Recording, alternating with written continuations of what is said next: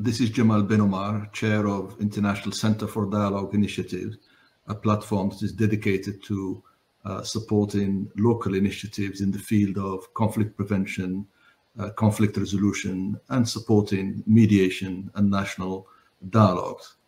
When we started a few years ago, our focus was on the traditional conflict that emanated from the Arab Spring, Yemen, Libya, Syria, and also uh, we paid particular attention to the situation in the Sahel, um, particularly with its links with the, um, uh, the, the conflict in North Africa and Libya in particular. But the recent event, you know, compelled us, you know, to pay more attention to the long-standing conflict um, in Israel, Palestine. Um, in the beginning, we thought that there is a whole industry in Washington dedicated to this, and uh, usually dominated by former administration officials from both parties. And we thought, you know, there was probably little, you know, that uh, we can add. However, um, when we look at the history of um, the so-called peace process, um, definitely it, um, um, uh, it's one that had many, many flaws. And um, the central flaw to that process was the absence of ownership, real ownership by the people affected by this conflict. And um, uh, it was far, you know, from being um, an inclusive pro process. And um, um, one also that is that complies with the an international law framework. Our angle today is not going to be the history of the conflict itself or its dynamics, but the, a focus more on the, the diplomacy aspect of it. Um, and in this context, you know, we're going to ask you know, some hard questions on why this conflict is lingering on. It's been going on for decades and decades with no end in sight. Without uh, uh, uh, further introductions, let me um, introduce our participants um, in this podcast, in this dialogue. Um, we have we are very pleased to have with us um, uh, Mouin Rabbani, uh, co-editors of Jadaliyya magazine. He previously served as senior analyst on the Middle East and special also a special advisor on Israeli-Palestine with the International Crisis Group and um, was head of political affairs in the office of the special envoy for Syria in 2014-2015. Uh, welcome, Wayne. We're delighted to have you. Thank you, Jamal. Very pleased to be here. We're pleased also to have with us Michael Omer-Man, um, who is DAWN's Director of Research for Israel Palestine. Um, and um, he has covered this issue for more than 10 years. He has served as the editor in chief of the Plus 972 magazine. Throughout his career, he has focused on Israel and Palestine grassroots movements and civil society campaigns, legislative trends, public opinion, as well as diplomatic and other efforts uh, to strengthen the uh, uh, uh accountability uh, in and rule of law. As we have seen in the news today, um, the bombardment of Gaza has resumed. Um, this conflict has claimed the life of um, uh, more than 15. Every time we give a figure, we're not sure. You know, it the figures are going up, obviously but uh, definitely more than 15,000 so far.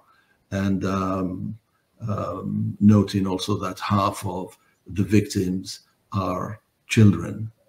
Um, a lot has been said more recently about the origins of this conflict. Um, we've seen many assertions about um, uh, blaming the Palestinians for not accepting um, so-called offers from the other side. Um, um, we have seen discussions about, in the media, discussions about what they call the day after. Um, I don't know exactly what this means, but um, various schemes have been developed, you know, in, in Washington and, and in Tel Aviv on how they see this so-called day after. But the one thing that is missing really, you know, from this discussions, from all these debates and the conversations involving many pundits, you know, on the usual TV screens is the um, uh, with the Israeli government, um, it was thought to be the panacea for um, the problems of the Middle East. But um, the reality is that this made things worse. Um, so these two initiatives, these two, a lot has been said about them and a lot has been written. Um, but let, let, let's hear, you know, from our uh, two guests what they think of what was le bilan or the outcome of um, these years of discussions, first about the Oslo process, and then later on about normalization and the Abraham Accord. Let me start, you know, with the um, uh, first question, um, and um, I will ask Mouin first. Um, if you could kindly explain to our viewers um, the main element of um, the Oslo process, and uh, why do you think it hasn't achieved its intended objectives? Yes, I, I think it's a very important question. Um, the Oslo process is often presented as a framework for a two state settlement that failed. I think that's a misinterpretation of the 1993 Oslo Accords. Um, the accord itself is, I think, um, three pages in length. It's largely written in plain English um, with very little technical language. And I would therefore encourage viewers and listeners um, to look it up on the internet. It's available on multiple websites and read it. And what they will notice are several things. Is that first of all, it never um, speaks about a two-state settlement as a preferred or even any outcome. Uh, the words occupation, self determination, um, statehood, for example, are nowhere to be found in those um, agreements. And so my interpretation is that in the aftermath of um, the huge changes in both the region and globally as a result of the first Intifada, um, the Kuwait crisis, um, the end of the Cold War, and the collapse of the Soviet Union, um, Israel came to a realization that the status quo was untenable. And the Oslo um, Accord was its way of reformulating its relationship with the Palestinians um, in a way that would, on the one hand, consolidate Israeli control over those areas of the occupied territories it wanted to permanently incorporate into Israel, and at the same time bringing in its former adversary, um, the PLO, as a partner in this process. Um, secondly, even if um, you uh, want to approach it as an agreement that was perhaps flawed, but had the real capacity to result in um, an implementation of what was then the international consensus on a resolution of the question of Palestine, which is essentially an Israeli withdrawal to the 1967 boundaries, um, uh, establishment of a Palestinian state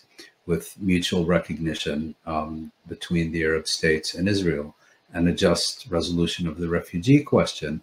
Um, the only framework of reference that the Oslo agreements provide um, for what it terms uh, the permanent status or final status of this issue is a single reference to UN Security Council resolutions 242 and 338. Now, many people might look at this and say, well, isn't that exactly what should be the outcome of, um, uh, of Israeli-Palestinian negotiations? Well, yes, but because the problem is that Israel, on the one hand, um, uh, largely supported by the United States, and the Palestinians and the rest of the world, on the other hand, have diametrically opposed interpretations of what those resolutions mean. To the world, it means an Israeli withdrawal to the 1967 boundaries and the just resolution of the refugee question. Israel maintains um, that the absence of the definite article before occupied territories in the English version of Resolution 242 means that it's not obligated to withdraw to the 1967 boundaries. And it furthermore maintains that in the con context of the Egyptian Israeli peace agreement of 1979, in which it relinquished the entirety, its occupation over the entirety of the Egyptian Sinai Peninsula, it has already withdrawn from the vast majority of territories it occupied in 1967, and therefore has already essentially fulfilled uh, the requirements of resolutions 242 and 338.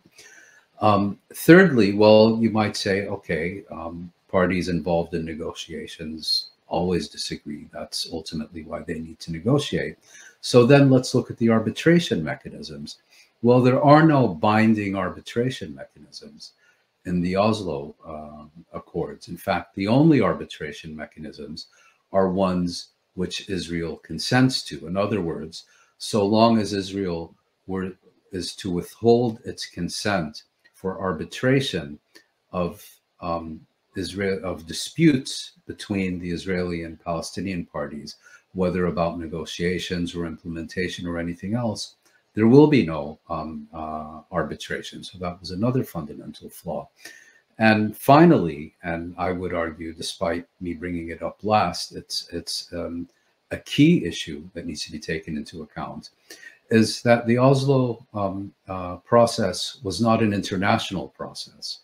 Um, rather, it was a bilateral process in which Israel and the Palestinians, in contrast to virtually every other instance of decolonization that we've seen since 1945, where the occupier basically comes to the conclusion um, that the perpetuation of its occupation is no longer tenable and then negotiates with representatives of the occupied about mechanisms to uh, terminate the occupation and establish uh, a modus vivendi or a peace um, uh, or, or whatever. Um, the Oslo process was a bilateral um, agreement in which the status of the occupied territories was basically transformed within the context of this agreement from occupied territories, which is how they are classified under international law and by international consensus into disputed territories in which Palestinian rights and Israeli claims um, were considered equally valid. Um, and on top of that, rather than this being a negotiating process held under under uh, multilateral or international auspices, um, it was in effect a process um, that was conducted under the auspices, the uh, virtually exclusive auspices of the United States. And the role played by the United States as one of the key American participants in this process, Aaron David Miller, put it so accurately in an opinion piece in the Washington Post about 20 years ago, was that it functioned not as um, an honest broker or even a dishonest broker, but as, in his words, Israel's lawyer. So you had an effect where the vast disparity in a situation in which the vast disparity between Israel and the Palestinians was amplified by the custodian of a process who was um, who on the one hand considered the more powerful party Israel a key strategic ally and considered the weaker party the PLO a terrorist organization um, uh, on probation. Um, and that's just getting into a few of the um, uh, issues. There are many more relating to delayed implementation and so on. If I could just make one final point about the implementation, I think a key issue to consider is, is that um, you can have an argument about whether Israeli actions or Palestinian actions were consistent with the Oslo um, uh, framework or violations of them.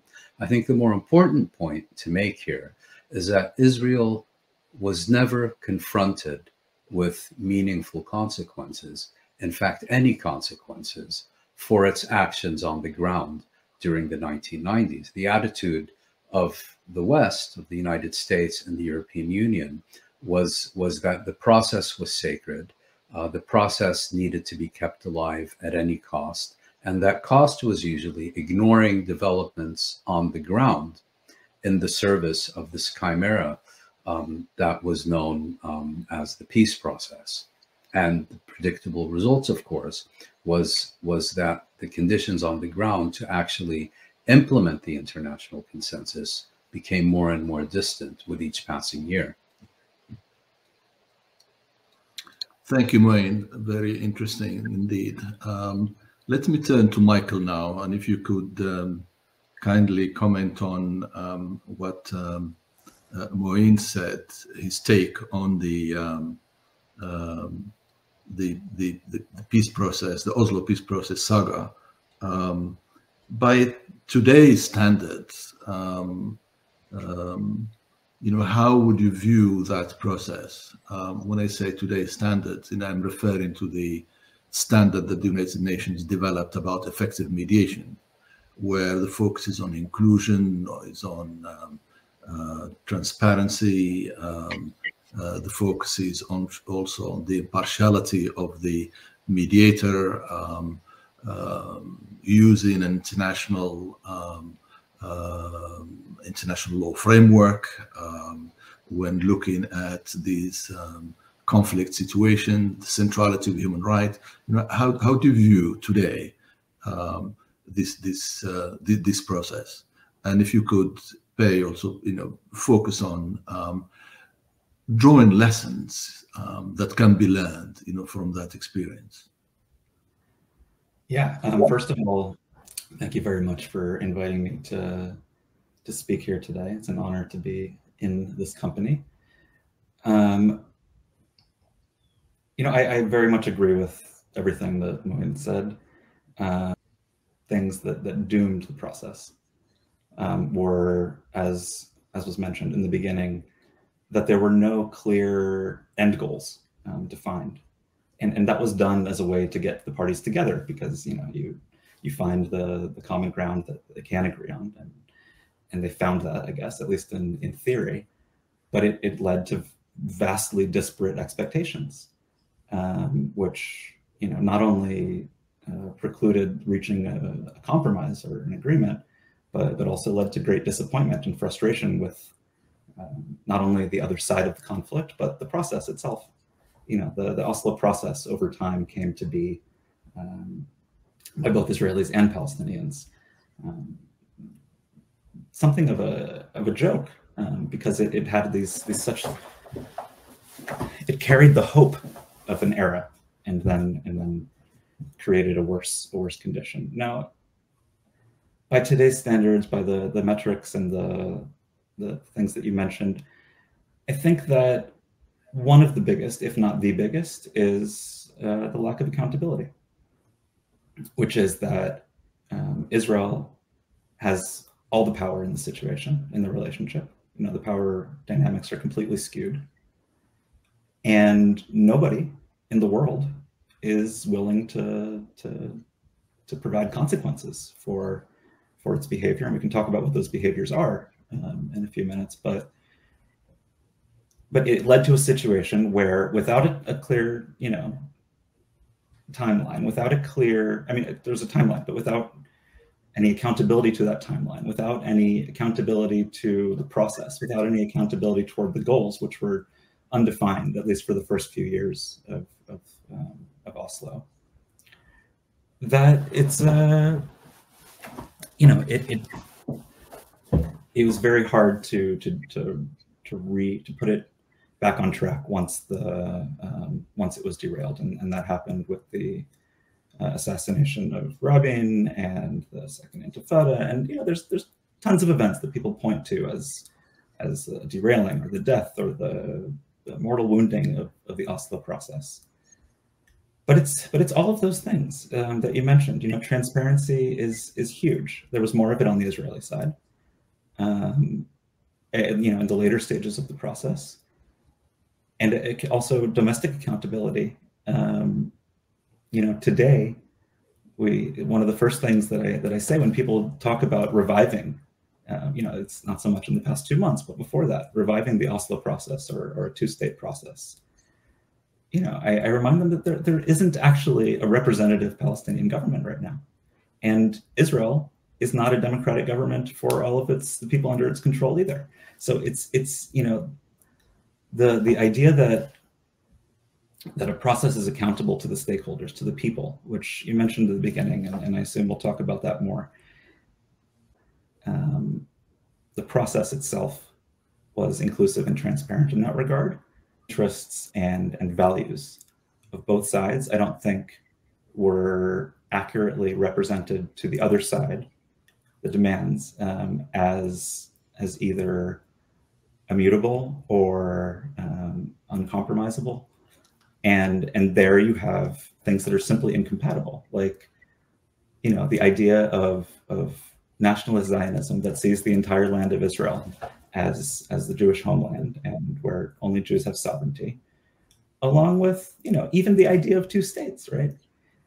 Um, where, where Israel has for a long time, and Netanyahu already in the 90s was saying that, you know, he's, he's not actually going to follow through with this process.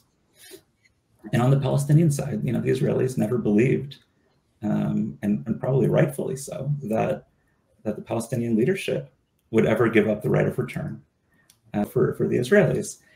Now, you know, in those two senses, particularly regarding the right of return, you know, there's a lot of talk on, on the Palestinian side about how that specifically um, made and continues to make the political representation, primarily of Yasser Arafat and uh, Mahmoud Abbas, who, who were willing to at least engage in talks on compromising um, refugee rights. You know, it's it's one of these places where I think a lot of people lived in fantasy land um, that that all you have to do is reach some sort of agreement, and and the the other seemingly intractable issues will will sort of resolve themselves. Um, that just getting people to the table is is the most important part, and and if surely you know that's that's very important. Um, but if you do it under false premises or under um, under in a situation where neither side is willing to to be fully open both about what they're willing to give but also get um, and, and, i'm not saying that those things have to be you know divulged in the negotiating room but but i don't think either side really um, knew that they had a domestic mandate to to to do those sort of to you know negotiate refugees to negotiate um, even giving up land you know the, the the settler movement in israel the nationalist zionist movement has grown immensely and and we all, we were only beginning to find out its power um, in the 90s, and and I think we're going to face a similar realization in the in the coming weeks and months. We'll go back to um, um, um what a peace process um, would look like uh, if, if, there is one um, once the, you know this war is over. But still, just um, one comment on what you both said about the Oslo peace process. Uh, clearly, from what you are saying, is that um, uh, there's question mark whether it was uh, at least question mark whether it was inclusive um, um, when it comes to um, who is at the table.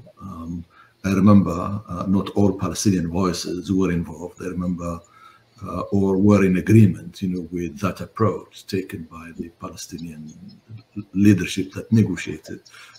Um, and then, you know, there was the question that you raised, you know, the um, the mediator um, um acting as a um, as a lawyer, you know, for one side, um, and pretending still to be mediator. Um, that was that proved to be very problematic indeed, and um, I'm surprised that even today um, there are calls for the U.S. to resume that that that role. It's like if we haven't learned anything uh, from that episode.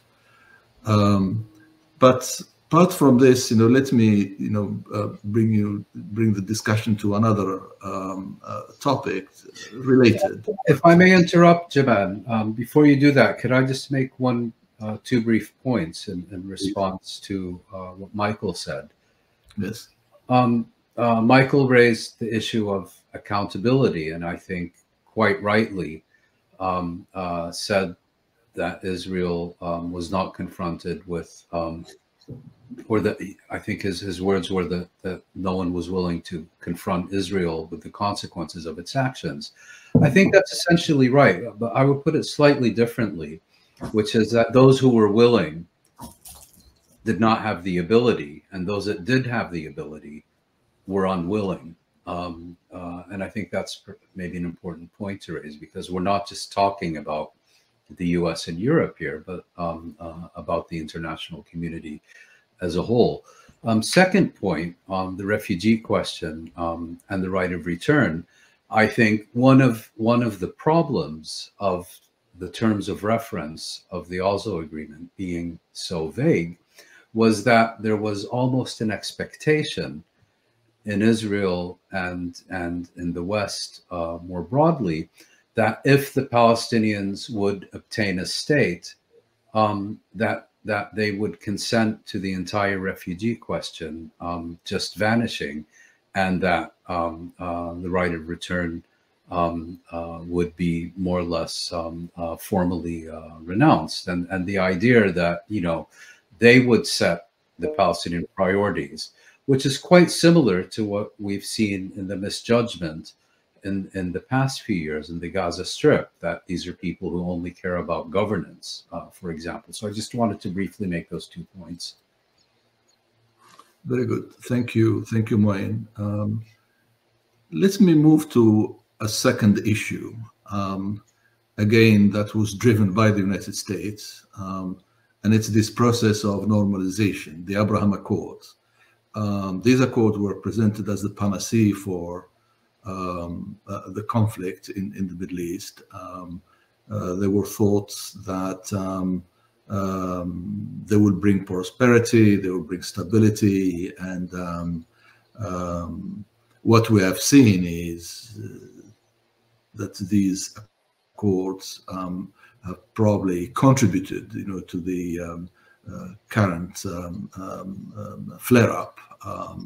Uh, the theory there was that instead of negotiating Israel, negotiating directly with the Palestinians, they will um, normalize their relations with Arab countries, and then the Palestinians at the end, you know, they will be compelled, you know, to accept whatever offers they will get, you know, from the uh, from, from from Israel. Um, when you look at the um, uh, the demonstrations that are taking place, you know, in the Arab world, in North Africa, from Morocco to um, uh, to Iraq, you know, you will see that uh, there is a huge gap, you know, between the Arab regimes who signed up, you know, with Israel, um, who are part of the uh, Abraham Accord, and then the population that remain very firmly um, uh, supportive of the Palestinian cause and the Palestinian people. So again, I want to ask both of you, if I can start with you, Mouin, um, what do you think, you know, the impact um, of this approach, you know, has been on this conflict? Well, I, I would maybe start by placing this again in the context of of the Oslo Accords. Um, I think the Palestinian attitude to the Oslo Accords was that Israel's main interest in reaching an agreement with the PLO was not so much achieving peace with the Palestinians, but achieving peace with the Palestinians as the price of admission to normalized relations with the Arab world. In other words, the Palestinians hoped and expected that they could use their leverage over Israel in terms of um, controlling um, uh, the entry of Israel to the Arab world, that they could use that as leverage to get um, Israel uh, to agree to an implementation of the international consensus in the form of a two state uh, settlement, an end to the occupation, and a just resolution of the refugee question. Um, and the Palestinians believed that, you know, with the exception um, uh, of Egypt, which had already normalized relations with the Arab world, um, they believed that that they, in effect, held this Arab card in their back pocket and could play it in order to achieve their strategic objectives. What we've had in um, the past two decades, and particularly um, uh, the last uh, 10 years, is a very different reality in which Israel, with the active support of the United States and the passive acquiescence, but increasingly um, active enablement of the Europeans, um, is in a situation where it has felt empowered to unilaterally resolve the core issues um, uh, of, of, of, what's conventionally termed the Israeli Palestinian conflict. Um, and part of this has been that you've now also gotten these initially informal and increasingly more formal patterns of relationships between Israel and um, the Arab world, and rather, and Arab states.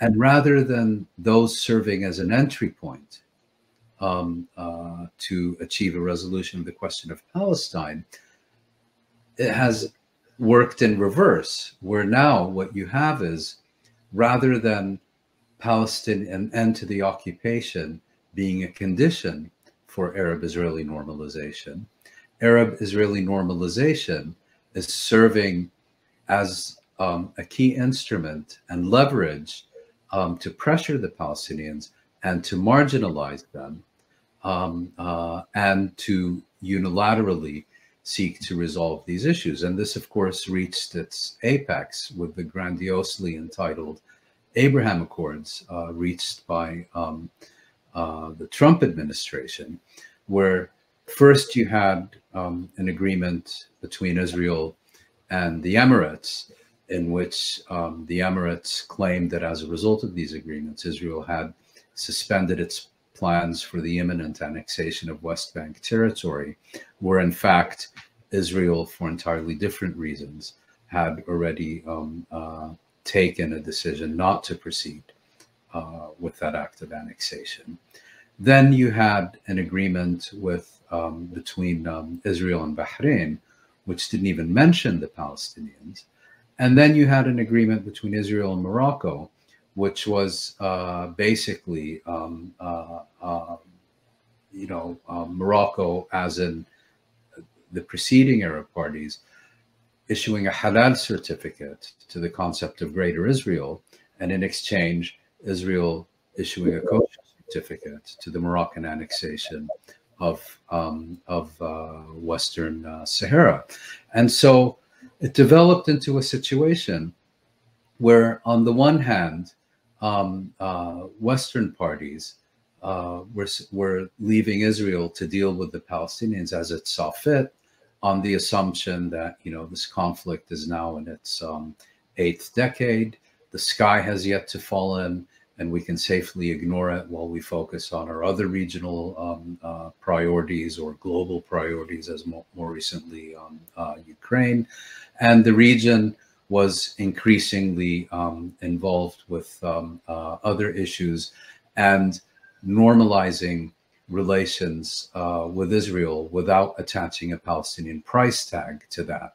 And I think it's it's this marginalization of the question of Palestine that is key to understanding the crisis that um, erupted on October uh, on October uh, seventh. If I could just make one last point in terms of normalization. I think um, uh, many uh, journalists and, and, and, quite a few analysts have suggested that um, one key motivation for Hamas on October 7th was to seek to undermine the prospect of a Saudi Israeli normalization deal. I'm not convinced um, that's the case. Um, and the reason is that that agreement, had it come to fruition, was actually not so much a Saudi Israeli as it was a Saudi Israeli American um, deal. And the key components of that deal were, on the one hand, an American commitment to provide Saudi Arabia with security umbrella, um, with sorry, with uh, security guarantees, and American delivery of um, uh, nuclear reactor and uranium enrichment capabilities to Saudi Arabia. Neither of those neither of those American commitments could have been fulfilled without the approval of the US Congress. And I think it is extremely unlikely that the US Congress uh, would have consented um, to those American initiatives. Secondly, um, part of that agreement would have consisted of Israel making certain gestures to the Palestinians, particularly the Palestinian Authority that, is, that it has systematically sought to weaken and emasculate over the past um, decade. And even though you can make the argument that the, the gestures Israel was being called upon to make were largely of a cosmetic nature um, in the context of this Israeli government, they were simply a non-starter and, and would never have been offered.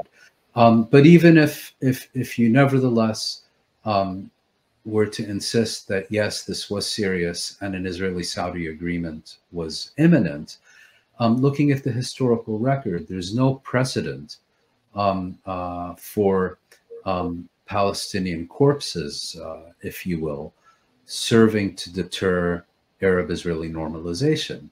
Um, in 1982, you had the Israeli invasion of Lebanon, culminating in the Saudi in the uh, Sabra Shatila massacres.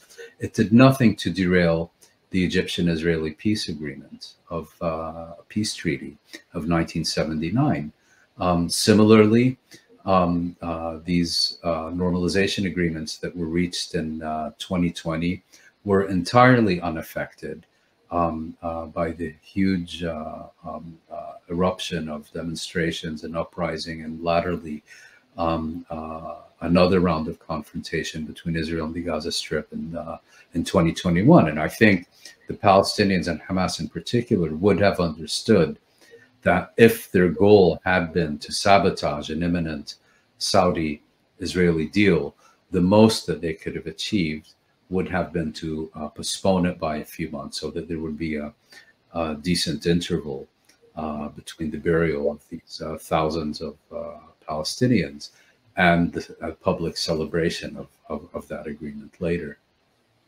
Thank you. Thank you, Mouin. Um, Michael, um, um, still on the Abraham Accords, um, uh, I want to see your take on um, you know, the widely uh, believed idea now that um, uh, these accords have backfired and crisis. Um, I, I, will answer that question, but I need to, to, to frame it a little bit first, um, which is starting with the, the Arab Peace Initiative in 2002, where you know Israel had been offered normal, normalization for more than 20 years now, and you know since 2002, but the thing, and with every Arab and, I'm not mistaken, Muslim nation as well, in exchange for, for peace with the Palestinians. Now, the problem with that is that Israel had to pay the cost of that. The, the cost of that deal was on Israel. The Abraham Accords externalized that cost.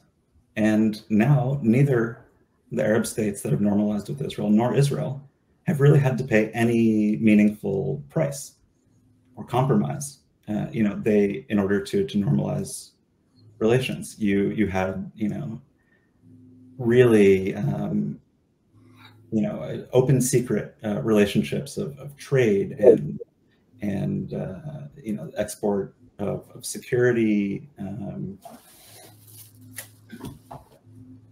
products from from spyware to to actual um, weapons and water salination and technology. And you know the, the relationships with with the emirates with uh, you know even with qatar even with, uh, with oman with with morocco like they've they've they were there already. They just weren't completely out in the open. So so nothing you know sure there's flights and, and israelis can travel to, to many more countries now but the fundamental um, foundations of the relationships did not change um, and and as Mouin uh, mentioned, you know, they haven't paid the the Arab countries have not paid a, rate, a price um, for this latest round of violence. Now, I would just say that you know Netanyahu in particular, but but Israelis in general, have for decades been fighting the notion of any linkage between the Palestinian-Israeli conflict and the Arab-Israeli conflict. You know, one the, the larger and the other the smaller. because the United States and Europe and many others, including you know many in the Arab world, um, most clearly expressed in the Arab Peace Initiative, have made that linkage and said, no, you can't you can't make peace. You can't be a part of your neighborhood until you resolve this this issue. And Netanyahu in particular, but Israelis have been, you know, saying no, that's not true for decades. And and this the, the Abraham Accords was a gift by by Trump and then Biden, saying, you know what? Let's go with your theory. And in doing so, they they took away a big lever um, of pressure, or at least um, positive incentive that could be offered to Israel. But that's never been effective anyway. I, I also don't think that Hamas did this to, um, at least as, as a major or driving factor um, to, to derail Saudi normalization. Um, but but again, it it created this conception of a far more um, transactional um, relationship that or a fantasy of a transactional relationship. Like all we, all we need to do is sell a few more weapons and we can ignore the palestinians. All we need to do is it, whatever it is but but expand this this abraham accords and and prove to the world that no no no the palestinian issue is not the main problem. Um, and and the you know we, we saw that in in this misconception that the thought that perhaps even even hamas um, could be bought in that way. Um, if not directly, then through um, through uh, Qatar. But it's uh, you know I, I I don't think it's it's true that it changed a whole lot, with the exception of um, what we believe is some sort of um, defense network uh, among Israel and, and, many of the Gulf states, um, including an intelligence sharing and missile defense but that's that's mainly aimed at Iran, and those things were more or less happening, not in a more inefficient way already. Um, so, so I, am sorry if I if I haven't gotten to the to the actual question, but but I do believe that the fact that the United States agreed to to pay the cost for normalization um, with the Arab world did a huge disservice to any building international pressure um, that the situation is unsustainable. And perhaps that pressure was built on a fantasy that there would be Arab pressure at some point, right? But we haven't seen that in in, in decades. You know, not really since uh, the 1973 war. Has has an Arab regime actually challenged Israel in a way that that it had to um, perhaps rethink its its uh, strategy for for living in the neighborhood that it lives in. And and lastly, um, I would just argue that I think, you know, there's some there's some relief in you know this is this is something that, that Israelis have a lot of angst about, right? About living the the villa in the jungle idea. Um, and, and there was some relief in in the idea that that people can be accepted um, but in the tension between Europe and the Arab world, you know, Israel has never really fit in um, into either. And and I would argue that, you know, what we're seeing, the changes that we're seeing in Israel right now are moving it closer to um, to the politics of the region. Um, you know, you have a conservative, largely largely uh, nationalist and religious uh, government that um, is consolidating power more or less uh, changing uh, the the regime to one less democratic for Jewish Israelis, and and for the Palestinians, we're seeing treating them with a ruthlessness and and inhumanity that we haven't seen, I think, since the Lebanon War, the the first Lebanon War, and. Uh, and there, there's there's a part of me that just that that that thinks that there's there's within the Israeli leaders that like okay we're in the Middle East well you know you hear this a lot that you know the, the only language they understand is violence and you know or force or they're I think trying to to act like what they think is is the the quintessential Arab leader that provides stability by by keeping themselves in power, as opposed to to providing for their people, um, which is certainly an unfortunate trend that um, that may come to reflect what the Abraham Accords becomes.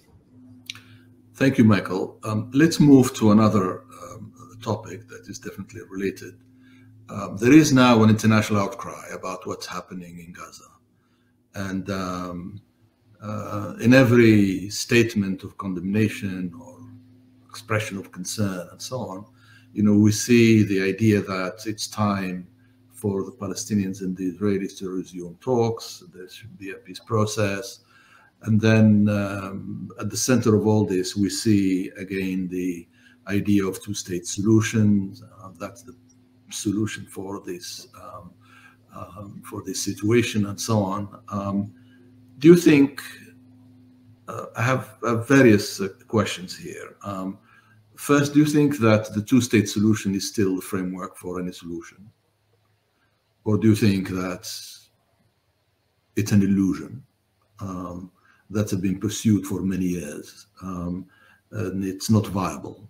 Um, but the second thing here is that um, since the international community will be, we don't know how the how the conflict will end.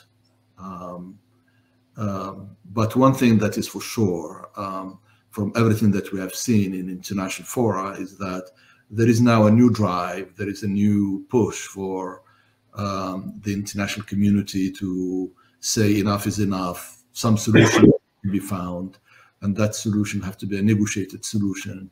It will involve two sides, the Israelis and the Palestinians.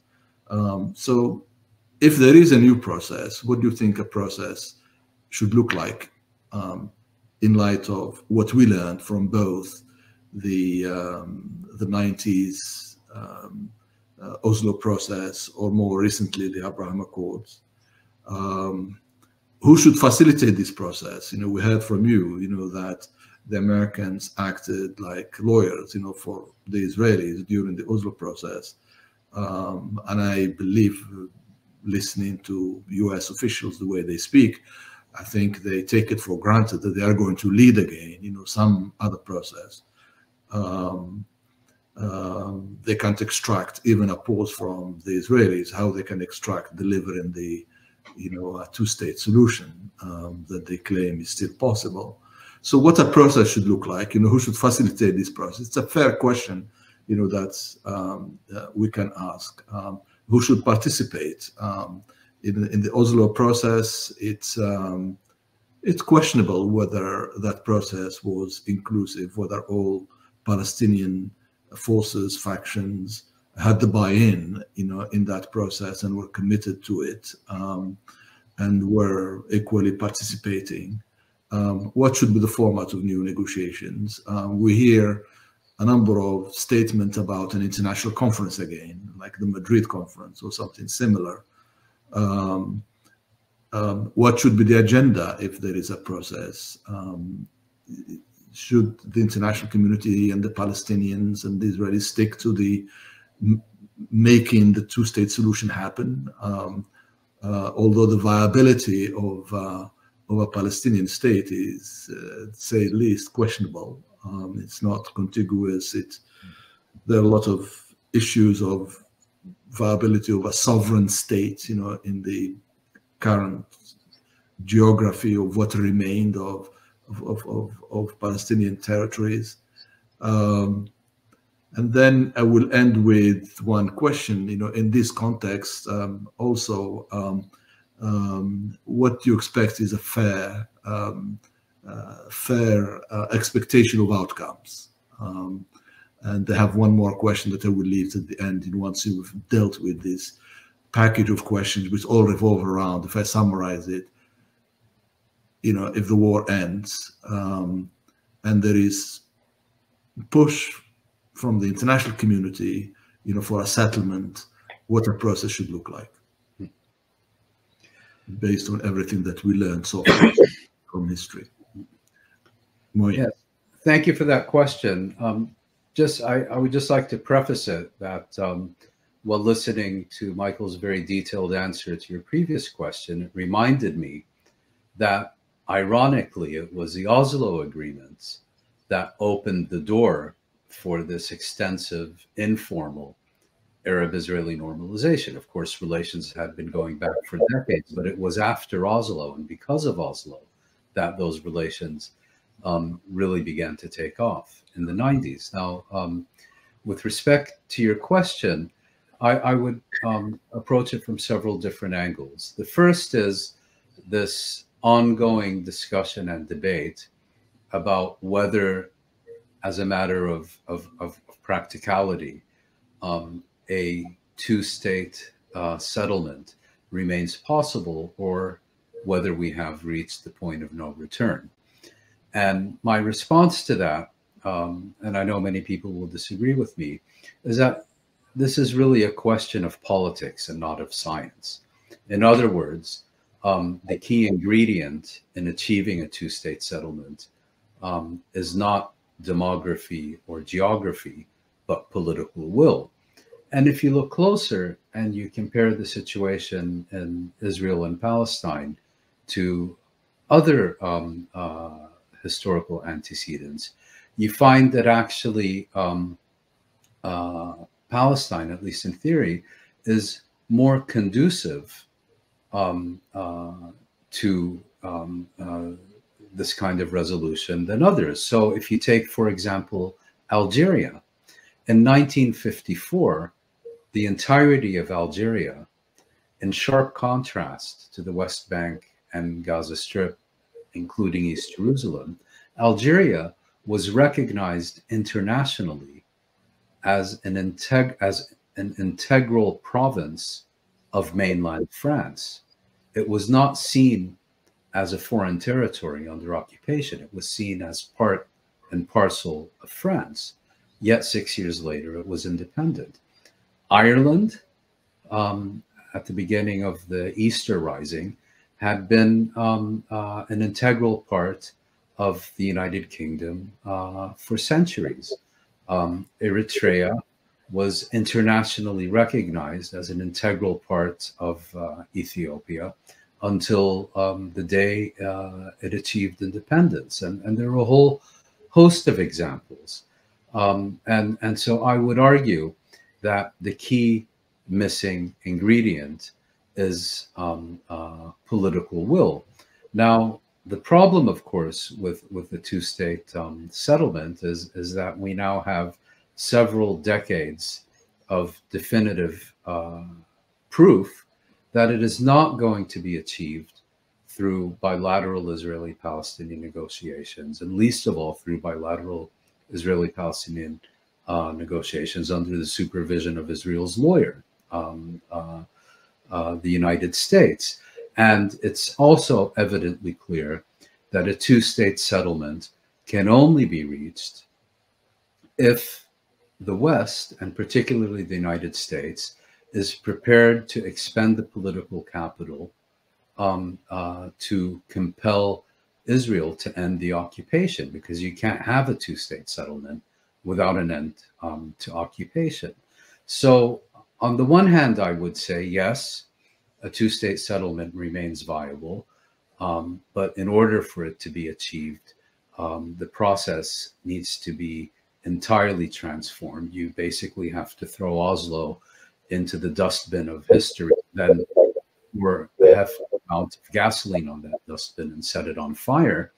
Um, and you need an entirely different um, uh, process, which doesn't necessarily require evicting the US from the process, but other partners need to be bought in so that it's under a genuinely international um, uh, uh, supervision or sponsorship in which the opinions of the international community are represented and not only those of either the United States um, uh, uh or the West. And under those conditions, at least theoretically, one could conceive of situations um, in which a um, uh, two state uh, settlement could be achieved. And there's another factor that I think argues in favor of a two state settlement, which is if you compare Israel Palestine um, uh, to South Africa, I think it's fair to say that both Israeli Jews um, and Palestinians have prioritized um, their national identities and and and their um, preference for um, living in separate entities over living in democratic um, uh, coexistence. It's a very different reality in South Africa. In South Africa, um, you had um, South African whites were a small minority, were prepared to relinquish political hegemony in exchange for uh, retaining economic power. I think among Israeli Jews, it's very much the opposite, um, that they have prioritized um, uh, remaining in, in, in an Israeli state, so to speak. So that's kind of the general picture. But I then think, and, and I've written about this, and I've also recently written that that while I think all these all these points remain valid, that I had overseen a key issue um, uh, which needs to be taken into consideration, and that may well mean that a two-state settlement is no longer achievable. And in my view, um, this key issue is that I think it's become legitimate to characterize Israel as an irrational state. And what I mean by um, uh, irrational state is a state that is no longer capable of self restraint, a state that is no longer capable of inhibition in any way. I mean, we're seeing this very clearly in, um, uh, in the Gaza Strip today. And I think it's also very unfair to characterize this as kind of a natural process that took place within Israel, because it's very much a function of the extent to which Israel has been enabled and coddled and encouraged um, by the United States and Europe, which since 1948 have never on a single occasion imposed sustained and meaningful consequences um, on, on an Israeli government for conducting policies that these Western states have said they strenuously oppose. So it's almost a natural cycle. You know, um, a state becomes more radical, you don't do anything. So that kind of enables it to become more radical. And it's a vicious cycle until, until ultimately it becomes irrational. And when I look at Israel as an irrational state, I'm not looking only at how it deals with the Palestinians and the kind of, you know, lunatic uh, uh, violence that it's uh, unleashing today on the on the Gaza Strip. I would look more closely not at how it treats its enemies, but how it treats its friends and allies and sponsors. You know, for example, during the Obama administration, every time Vice President Biden would come to Israel, someone who's recognized today as the closest friend Israel has ever had in the White House, and this was already known during um, the Obama administration. Every time Biden's plane would touch down in Tel Aviv, he would be met by the announcement of a major settlement expansion. Um, in the past month, Israel has denounced the leaders of Spain, Belgium, and Ireland as supporters of terrorism. Um, more recently, you had Israel's um, permanent representative to the United Nations wearing a yellow star to the Security Council as if, you know, we're in 1930s Nazi Germany, um, and demanding the immediate resignation of the Secretary General of the United Nations for making the pedestrian observation that there's a conflict and also, you know, uh, snarling at all uh, at various other um, uh, senior United Nations officials and demanding their resignation. I mean, you know, when you can no longer distinguish your friends from your enemies, if it was an individual, you would say you need to have your head checked.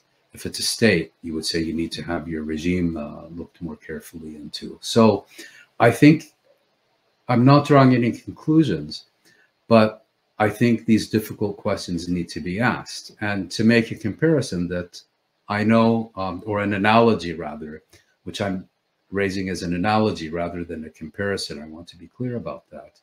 Um, I grew up in Western Europe under the long shadow of the Second World War.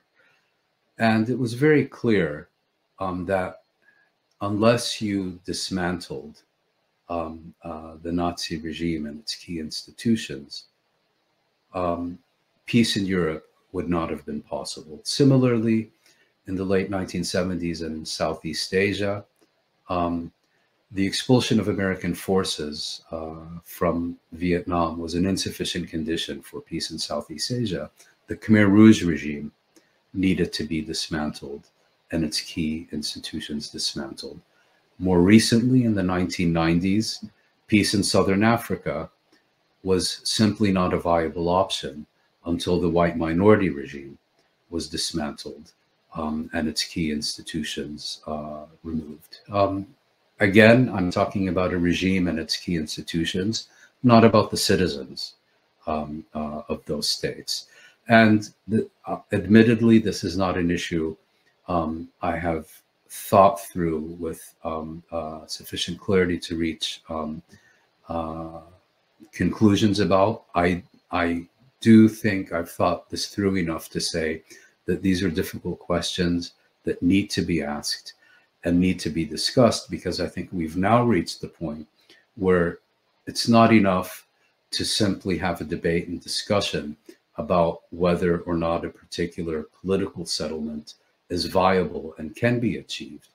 We need to also ask, should it be achieved given these other factors that I've, I've raised? The final point about um, Palestinian representation, I think, you know, when you listen to um, um, uh, these day after scenarios, and, and I would argue, in fact, this is mainly an American and, and, and, and uh, European issue. I don't think Israel has really thought through day after scenarios to quite the same extent.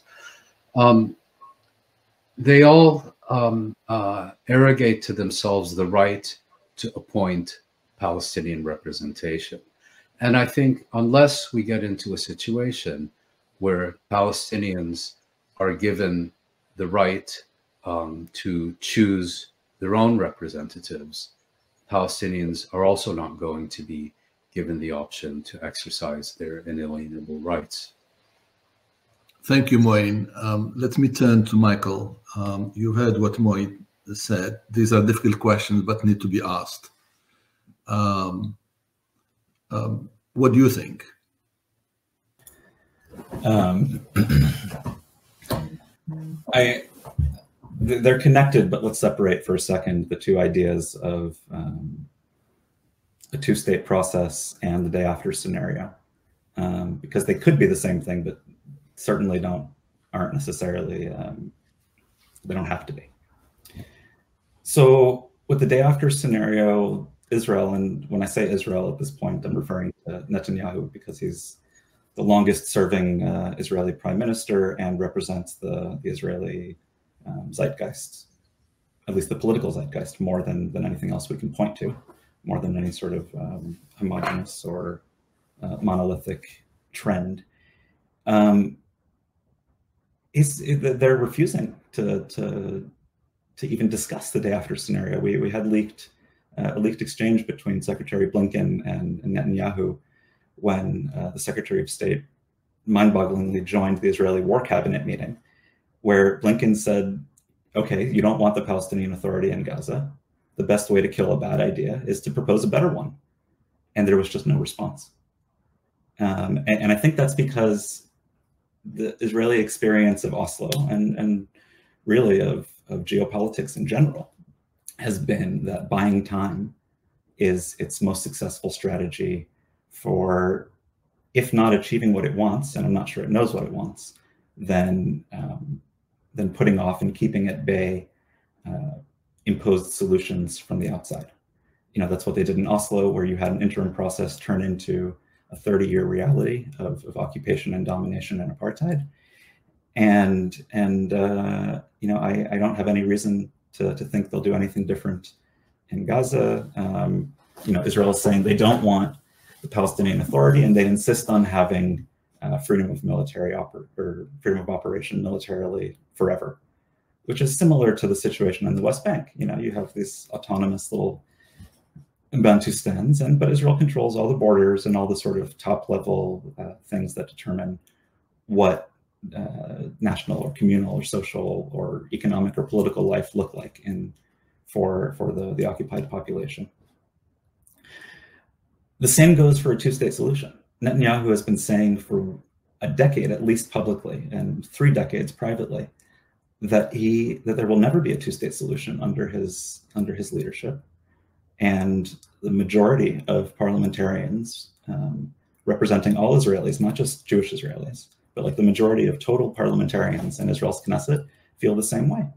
That that there's almost no situation where they would agree to a Palestinian state, at least under the the Oslo um, framework, the Clinton parameters, whatever whatever we're calling that sort of idea that we refer to as Oslo 30 years later. And they have that position because they have a different vision, one of, of Israel uh, maintaining control over the entire land of Israel, which is the area between the river and the sea, including the West Bank, East Jerusalem, and Gaza Strip. Um, at the very least, having full sort of sovereign control, meaning military, air, radio waves, you know, the borders, which you know in, in, invariably um, precludes sovereignty for Palestinians, right? And and that's why we've seen so many, and, and that is the reality reality today, which is why we've seen so many um, you know, scholars and, and, and activists and, and policy folks adopt the term one state reality, which, you know, at 972 and even in the New Yorker, people were writing about this a decade ago. But um, but it's it's become a little bit more of a popular way to to understand things today because it's clear that that in the absence of any of any process, in the absence of any peace process or two-state process or any kind of process, and with Israeli leaders saying that they're never going to end the occupation, that it's that it is a one-state reality in which there's one effective sovereign over the whole territory, um, where only half the people have rights, where only where the government and the leadership is only accountable to half the population. So we have a situation where you have a one-state reality. Israel refuses a two-state process, and the international community, at least until October 6th, has been completely unwilling or unable to even entertain the idea of an alternative than Oslo. And I'm speaking of the, you know, Oslo with a, the, the sort of broader idea of it. So what can be done differently? Um, on October 6th, I was halfway through writing a book exactly about that, uh, which will come out with UC Press next year, um, together with my, colleague Sarah Leah Whitson. And, and the basic idea of that is to flip the process. And yeah, I'm not saying this is the only way that, that something could happen, but to, to take the idea that Palestinians and Israelis as monolithic groups or their leaders, their unrepresentative leaders, need to first reconcile a national um, conflict. A very, you know, deep-seated, emotionally loaded lots of intergenerational trauma um, filled, you know, with Jews, the, the Holocaust and Palestinians, the Nakba, both of those have been, you know, deeply triggered in, in both populations over the past two months, by the way, which makes it very difficult to talk about any, any sort of um, compromise or, or, empathy or willing, willingness to take risks. But the idea is to flip the process so that no, you don't, you don't resolve, you don't have to resolve the national issue in order to get to you know, ending the occupation, ending apartheid, um, and and resolving the the issue that that millions of people are denied individual and group rights by another regime that's, you know, at least in theory, democratically deciding to do so. So, you know, that won't happen without immense pressure. Um, that pressure could come from the international community. It could come from an inability to, to end unimaginable violence. But you know, as I mentioned, Israel does not want two states. So, and it does not want to give Palestinian rights in one state. So we're left in an undemocratic one-state reality. And the only way to to to make Israel even consider um, transforming that situation to something that is not those things is is by making it pay a price, by making the alternative more costly. And you know, in the current international system, the United States is the only the only actor that can do that. Um, And I'm not sure it's possible today, and it's certainly not possible the day after this war, uh, because it requires uh, a reevaluation of of really both um, both Israelis and Palestinians' idea of what the manifestation of, of self-determination looks like. And I say that because if we're in an undemocratic one-state reality, and there's neither a desire nor a process to get to two states, why not just transform the undemocratic one state into a more democratic one state? You know, and there's plenty of, of models for that from, you know, one man, one vote to uh, to confederation to federation, and th they're all they're all possible. Now, again, I don't think that that anybody's going to be entertaining the idea of, of everybody living together after all these intergenerational traumas have been, you know, um, dragged up and and in the in the wake of so much fighting. But, if Israel is successful in, in, its goals for the war, and I, I don't want to think about the civilian toll that that'll take because that's really almost too much to, to imagine. But if they're successful in eliminating Hamas's ability to threaten it and its ability to govern Gaza, then it's going to have a little bit of a harder time making the argument that it can't take the risks involved in a, in a process, that it can't take um, the risks of, of allowing, you know, a Palestinian national movement um, to, to, to challenge it from, um, from within. It's, it's, you know, all of this rests on the international community because without somebody to, to come in and, and say that like this cannot continue and this war is proof of that. This war is too much, and and we we need a different path forward. And then realizing that there is no other path forward that's pre-written, right?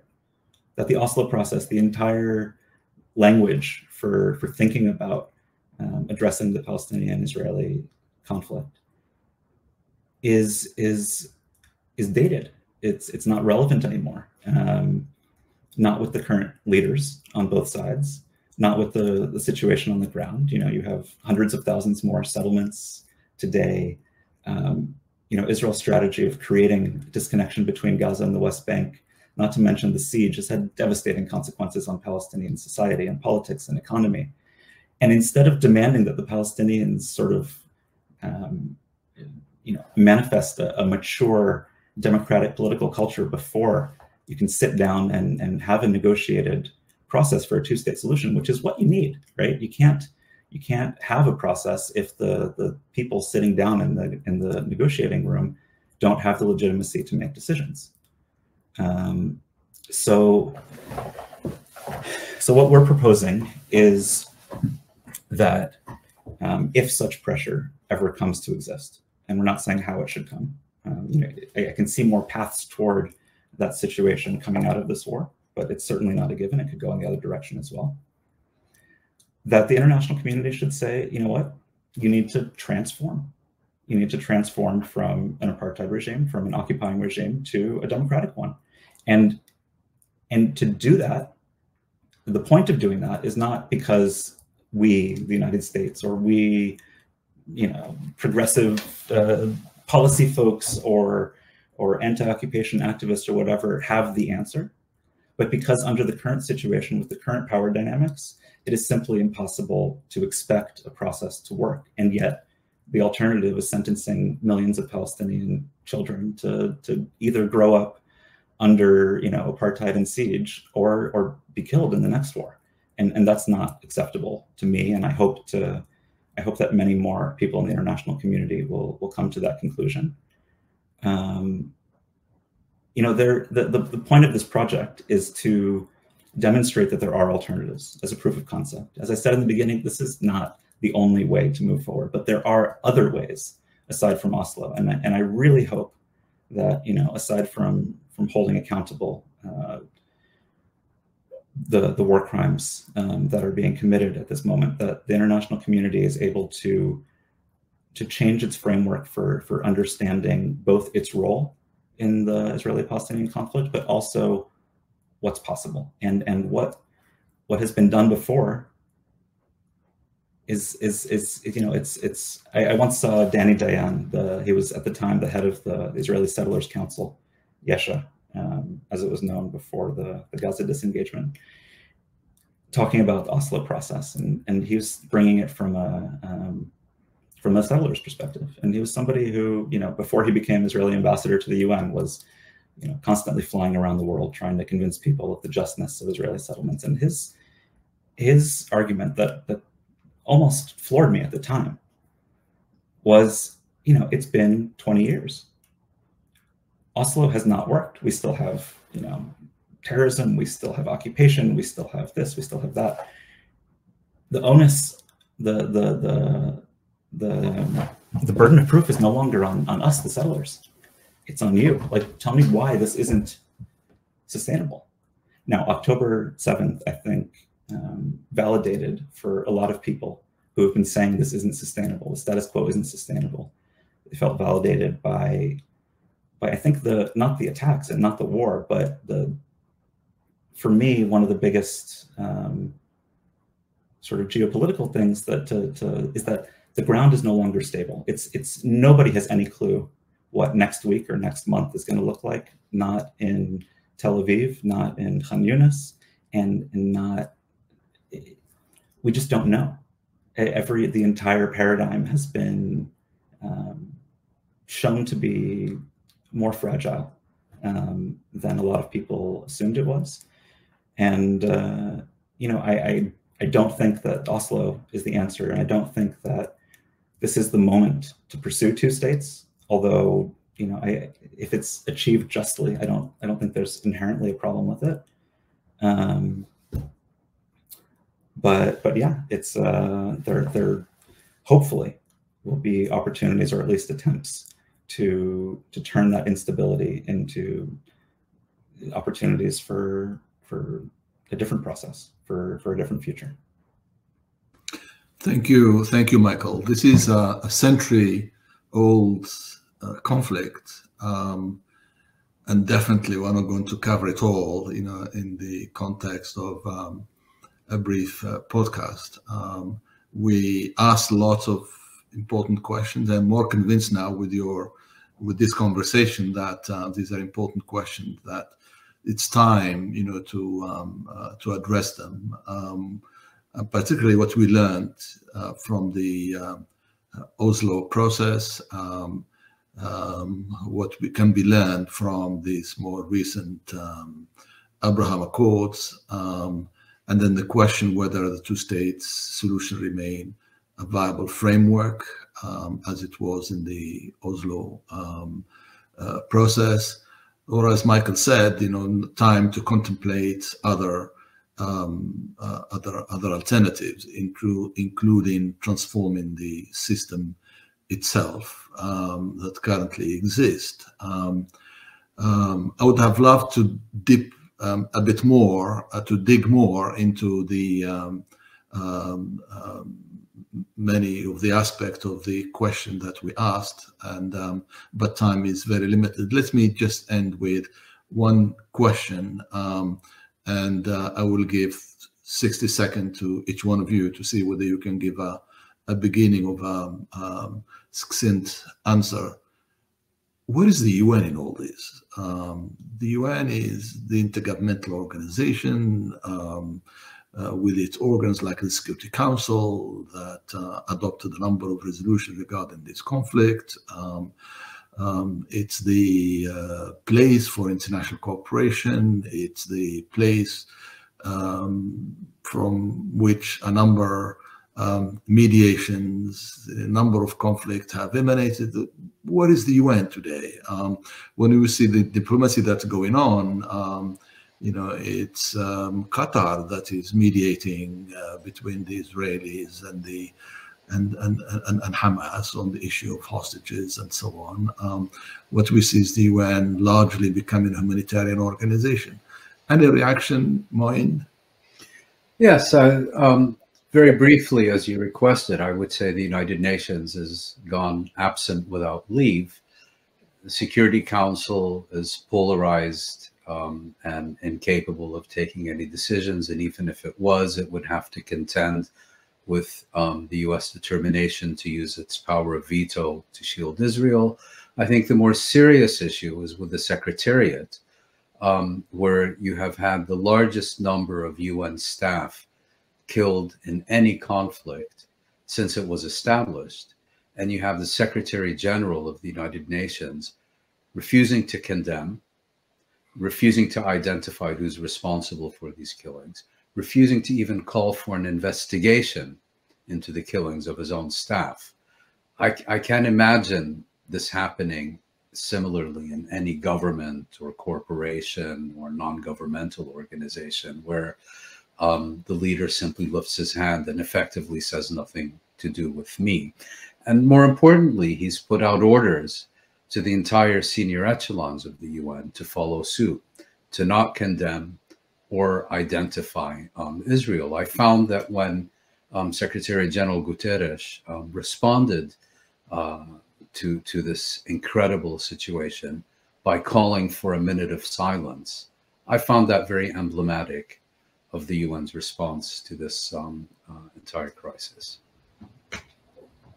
Thank you. Thank you, Mouin. Michael, any comments on the UN role? Yeah, I think the the major theme of, of my analysis is that the not the problem, but the answer at this moment is blocked by the United States. And, and that is not, you know, how that manifests in the United, in the United Nations is not only the US's fault. You know, we see similar um, paralysis and polarization and, and, and, and in, inability to act um, with Ukraine and other, and other conflicts. But, you know, as long as the United States is acting as Israel's lawyer, and as long as the international system is such that five nations can block any any action within the international system, then uh, then the UN doesn't really have a whole lot of uh, to offer. Um, now there are mechanisms that can be strengthened, and you know the General Assembly has a role in all that. But you know if we look at why there hasn't been accountability, it's the United States shielding Israel from from consequences, primarily in the United Nations. Thank you, Michael. We covered lots of ground, um, um, but I feel that um, you know we need um, uh, to focus much more on many aspects of what we discussed. Um, we need many podcasts to be fair, you know, to dealing with this issue. Um, thank you, um, Mouin. Thank you, Michael. Uh, thank, thank, you. you it's been really a pleasure to have you on this podcast. We'll continue tracking this conflict. We'll continue focusing on the diplomatic aspects of this, um, how diplomacy will evolve. And um, um, I will say to our viewers, if you like this podcast, please visit our website, um, dialogueinitiatives.org, and subscribe to our newsletter, Diplomacy Now. Thank you very much. And um, um, I'll be delighted to have you on this podcast again sometime soon. Thank you.